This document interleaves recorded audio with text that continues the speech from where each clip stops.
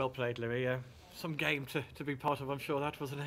Yeah, it was a, it was a strange one. I think at half time we, um, we had a little word with ourselves and, and, and we, we likened it to a basketball game because it was really end to end and I think that, that carried on the second half. Um, but it was a, I think it was a great great victory and uh, one where um, I think it was on match of the derby on first. I think.